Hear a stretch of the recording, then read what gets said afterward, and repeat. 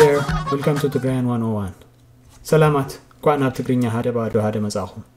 We're introducing this channel for those who would like to learn the Tigrayan language. Tigrayan is spoken by about 12 million people in Northeast Africa and other localities of Tigrayan expatriate communities around the world. The channel will also cover the culture and history of the people to a lesser extent. For now, in this inaugural video, we'll briefly discuss the history of Tigray and its writing system. Most speakers of Tigrayan live in their ancestral land known as Tigray, where their forefathers had built one of the greatest civilizations in the ancient world. As far back as 4,000 years ago, rural farming hamlets and villages were formed in the land. Eventually, towns and urban settlements throughout the land led to the formation of literate complex societies. By about 3000 years ago, a great civilization came into existence. That civilization was centered first in the ancient city of Yeha, with a kingdom known as Da'amat, and then in the ancient city of Aksum with the Aksumite kingdom. The pre-Aksumite Da'amat kingdom spanned from the 10th century BC to the 4th century BC. The ruins of the great temple at Yeha was from this era, and it is the oldest standing structure in this part of the world, dating back to at least the 7th century BC. The temple's advanced craftsmanship testifies to the level of sophistication the ancestors of today's Tigrayans had so far back in history. The decline of Da'amat led to the emergence of chiefdoms that last for a couple of centuries. The civilization was revived when the Aksumite kingdom was established in the 1st century BC and lasted for a staggering 1000 years. The kingdom had the port city of Adulis along its Red Sea coast, for what was then one of the busiest maritime trades in the world. The Aksumites had relations with world powers such as Rome and minted their own currency, with text engraved in Aksumite and Greek scripts. Archaeological findings showing ancient jewelry, among others, indicate that the Aksumites traded with civilizations near and far. The Aksumite kingdom, also known as the Kingdom of Aksum, ruled to the east as far as Yemen across the Red Sea and to the west as far as the banks of the White Nile River in Sudan. According to historians, at its height in the middle of the first millennium AD, the Kingdom of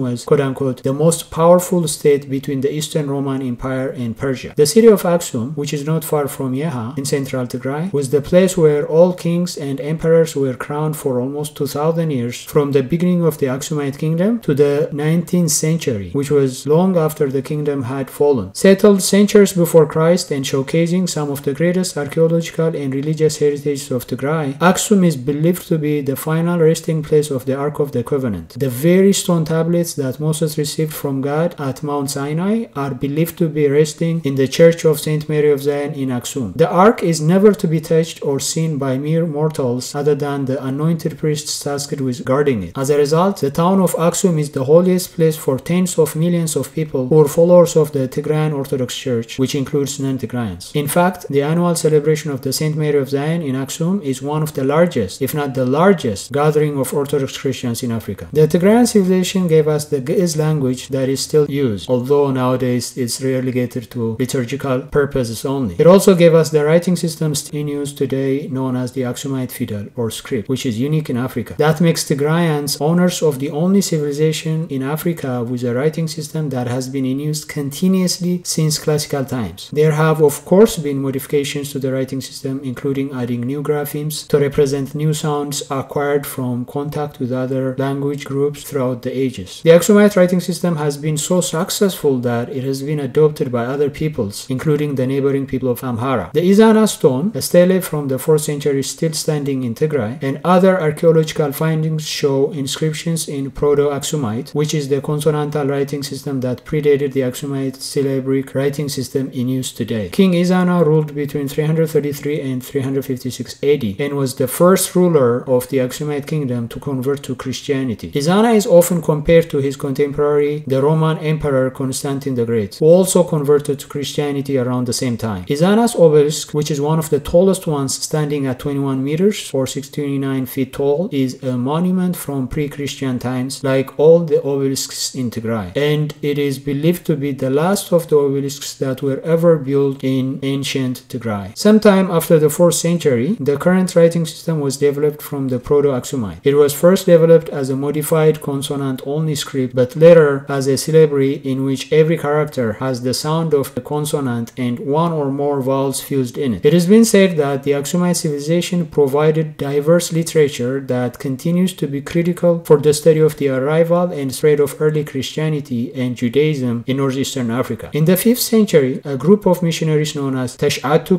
Dusan or the Nine Saints arrived in Aksum. These were men from Syria, Constantinople, Anatolia, and Rome whose mission was to propagate the gospel of Christ, which of course resulted in spreading Christianity beyond the palace and the caravan route, which was between Aksum and its port city of Adulis. The earliest illustrated Christian manuscript in the entire world, referred to as the Garima Gospels, which still survive, were written at this time. In the 7th century, in a somewhat comparable turn of events, Muslim refugees fleeing persecution in Arabia arrived in the kingdom of Aksum. After securing asylum from the Aksumite king, they settled and eventually became the first Islamic community in Africa and have been contributing to the social and political identity of Tigray to this day. At the end of the first millennium, when the kingdom of Aksum was on the decline, a queen of destruction by the name of Yodit Gudit invaded from her stronghold from south of Tigray and laid waste to the kingdom, destroying urban and rural areas, burning centuries-old religious and public edifices, killing priests and royal families, and destroying centuries-old manuscripts. Text in the Aksumite script was for the first time published in a printing press in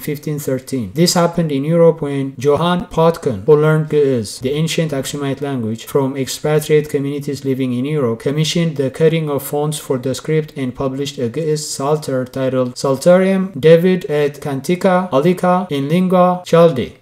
This made the Aksumite script the fourth alphabet after Latin, Greek, and Hebrew to ever be used in the printing press. In 1531, the Ottomans and Imam Ahmed of the Adal Sultanate succeeded in reaching Aksum and causing another catastrophic destruction, including the destruction of the centuries-old Church of St. Mary of Zion and its manuscripts. Unfortunately, Tigray has lost innumerable manuscripts and archaeological artifacts even since then, particularly in the 20th century and even in 2021. If you've been following the news about Ethiopia's last catastrophic invasion of Tigray, you will know the immense level of destruction and war crimes committed by the Ethiopian state. The good news is that there is so much to learn and study about this beautiful land and people. Tigrayans have a long and proud history, a heritage that no one can take away from them. Their language and unique writing system are just part of that incredible and indestructible heritage. That's why we're so excited to bring to you the first professionally prepared channel to teach the Tigrayan language. So in the next video, we'll learn about the Tigrayan Fidel or script. In the meantime, if you'd like to know more about Tigray and its people, we have provided links to some materials by others in the description section down below.